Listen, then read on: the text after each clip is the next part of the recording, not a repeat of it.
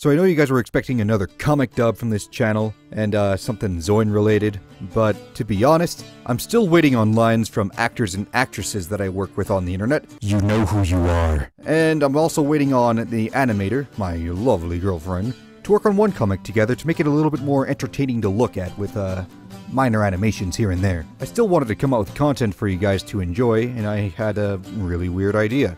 Why not combine two of my favorite things together? League of Legends, and Dungeons and Dragons. So what I'm going to do for you guys today is make Kayn into a playable character in D&D for you to integrate into your own games should you desire. And I'll show you guys how to do so in Dungeons and Dragons 5th edition. I want to give a disclaimer before we start that uh, if you do use Kayn into your games and campaigns, I would recommend giving him a different name or perhaps altering the backstory to fit the campaign a bit better that you are in. Unless you worship Kayn in the and the ground he walks or the walls he floats through, I, I don't know, then uh, hey, go ham. These are just merely guidelines in my humblest opinions, what I think Kayn's stats and what class he should be. You can play him any way you want, so other than that, let's get started. Will you prove worthy? Probably not. Just as all games of League of Legends start, we're going to be starting at level 1 for Kayn. We'll go over a few other abilities that he gets from his classes and whatnot, but for now, let's just start at level 1. From all the races that League of Legends has to offer, it's pretty safe to say that Kayn is a human for this character that we're building, so we'll put him down as human. Kayn's alignment in this character sheet is going to be lawful evil. He has shown himself to be willing to do heinous acts, but is willing to follow a code such as the Order of Shadow and follow in Zed's footsteps in being the leader of the Order. And if you say, like, where does it say that? It's in the word Order of Shadow. So we will classify Kayn as lawful evil. I've had fellow D&D enthusiasts say that Kayn should be a warlock because of his corruption with Rhaast and the warlock having the Pact of the Blade. I sincerely disagree. I believe that Kayn is a monk and he will follow in the footsteps of the Way of Shadow in the monk archetype, as it would fit Kayn's fighting style, as monks don't wear armor, and Kayn views armor as something of a cumbersome burden, and would prefer to use shadows as his own armor anyways. It's also fitting for the monk's first abilities to get at level 1, unarmored defense and martial arts. As I stated, Kayn doesn't wear armor, but he still has a pretty high armor class, and martial arts is very fitting because Kayn is very competent even without a weapon. The only real downside is that you wouldn't have proficiency in every single weapon, but hey, short swords and all simple weapons, going to but not limited to club, dagger, great club, hand axe, javelin, light hammer, mace, quarterstaff, sickle, spear, light crossbow, dart, short bow, and sling. That still is a lot of weapons to master. And for additional proficiencies, you also get tools, which could be one artisan tool of your choice or a musical instrument. Now, you may choose whatever you want. We could do smithing for the sake of creating uh, assassin weapons, or brewing for the sake of creating poisons, which Kayn doesn't really use, like Twitch over here, but it's still role-playing options that you are free to decide. So for Kayn's class, we're going to be making him a monk.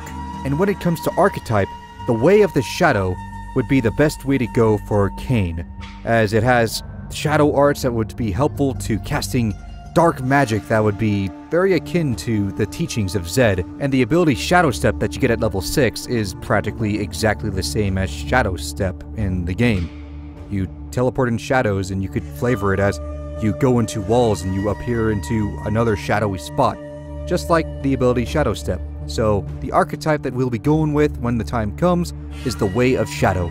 Plus, this shit's broken, there's no cooldown on it at all in D&D. Kayn has always been graceful in his movements and in his attacks, and has always expressed extreme speed and precision. So if we're using standard array, we're going to be making dexterity 15. That way you could increase your armor, you could increase your initiative, you could increase your attack. Dexterity is a very powerful stat overall, and you would be a fool not to make Dexterity Kayn's highest stat. For Kayn's 14, we're going to put it into Charisma, as Charisma can be related to confidence in social situations, and Kayn has shown such confidence it even goes to the point of arrogance, and such a weapon that he has mastered is Fear. And Fear ties into Intimidation, and Intimidation ties into Charisma. Even in the alternate universe, Odyssey, Kayn has able to shown himself as a very competent leader, so Charisma would be a very fitting stat for Kayn to have. 14 would be where I would put the Charisma. Now for Wisdom, we're going to make it 13. Lore-wise, Kayn's able to adjust to situations accordingly, and he doesn't exactly break down in panic just like the fellow Noxian soldiers he fought besides as he was a child. And Kayn was even able to view things in a rather wise way. Rather than seeing weapons as merely weapons, he sees them as tools. Which is, in my opinion, kind of wise for him to comprehend that kind of mindset of just weapons to be merely tools. And gameplay wise, Kayn perhaps has the best opportunity for vision in the entire game of League of Legends.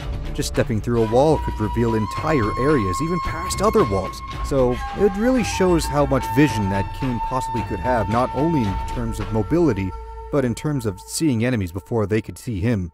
So for Kayn's wisdom, we will make it a 13. For Kayn's constitution, we're gonna make it a 12. From his appearance, Kayn appears to be a rather healthy young man who's not exactly extremely durable looking, but from Kayn's appearance, he looks like he's in relatively well shape. And just because you're in good shape, that doesn't entirely mean that you're extremely strong. But from what I can tell, Kayn looks like he keeps his health in very well regard. For strength, we're gonna make it 10. As I said about his dexterity, he is far more graceful than brutish, but he isn't exactly weak either. I'm sure handling a weapon like Rhaast would require an extreme amount of strength to allow him to control that weapon, but 10 isn't exactly fantastic, it's actually plainly average. But I don't believe Kayn is either weak or strong, so 10 is a rather fitting place for Kayn to have his strength at, so we're gonna make his strength a 10.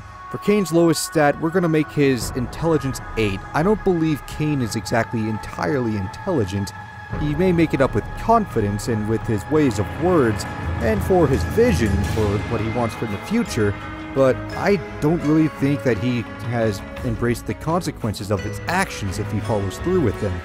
Like taking over the Order from Zed, which I'm not exactly sure what his goals would be, but I'm pretty sure it would be extremely costly in lives and also in other resources. So we're going to make his intelligence an 8. If you have permission from the DM, use the human variant and add plus 1 to dexterity and plus 1 to wisdom, and take yourself the mobility feat. Kayn has always been one of the most mobile champions in the game, and I think that would be very fitting for him to have such a feat, which would allow him to go very fast. And for skills from the human race variant, take intimidation, and for the class, take acrobatics and stealth. For Kayn's background, there's a lot of ways that you can go about it. You could go Acolyte, Soldier, Urchin, Noble, Urban Bounty Hunter, or Haunted One.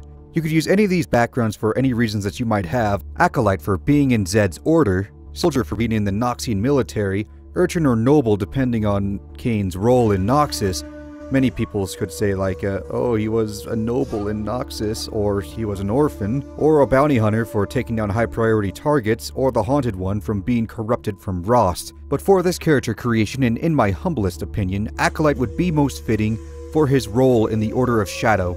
You will also get the feature Shelter the Faithful. I would say work with your DM to see if you can integrate something that would be like the Order of Shadow and their influence wherever they are. I would say have it be akin to Assassin's Creed, where you could go there and you could have contracts and have potential quests to open up just from having this feature alone, or you could use it as a place for shelter, just as the feature would suggest. You also gain the skill proficiencies in insight and religion. For personality trait, I would choose the first one, which says, I idolize a particular hero of my faith and constantly refer to that person's deed as an example, which is very fitting because, as a lot of fan art would suggest, Zed Senpai. Kayn many times would bring up Zed saying that he would be impressed by his actions, which would be kind of fitting for Kayn to see Zed as his hero since that's relatively his only idol that he has had in his life, and someone that he seeks to surpass one day.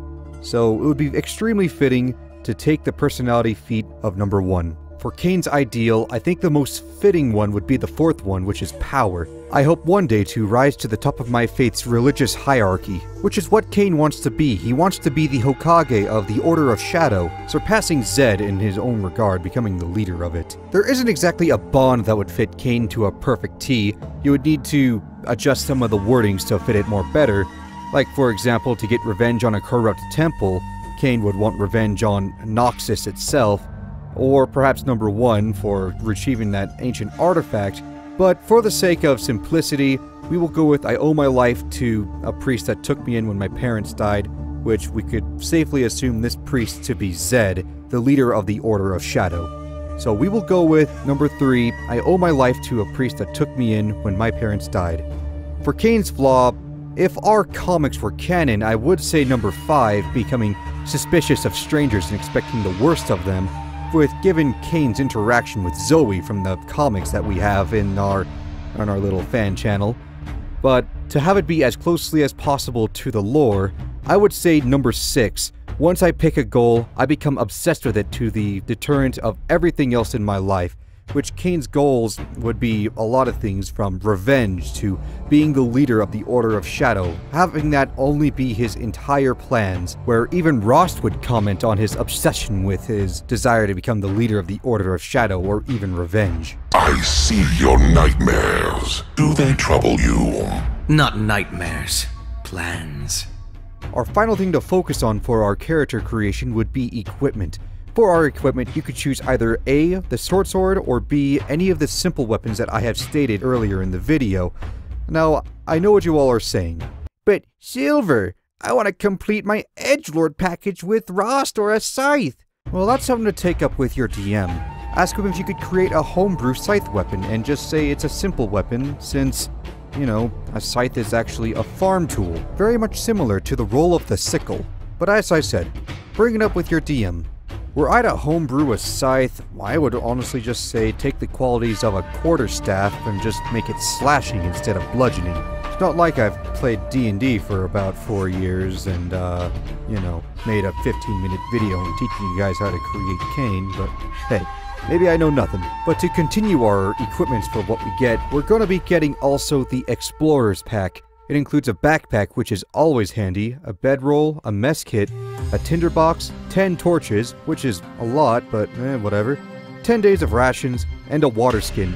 It also packs 50 feet of hempen rope strapped to the side of it, which is always useful. And finally from the class, you get yourself 10 darts. You can always reskin the darts to say they're shurikens, or you could say they're kunais, which is always cool. Make it more anime.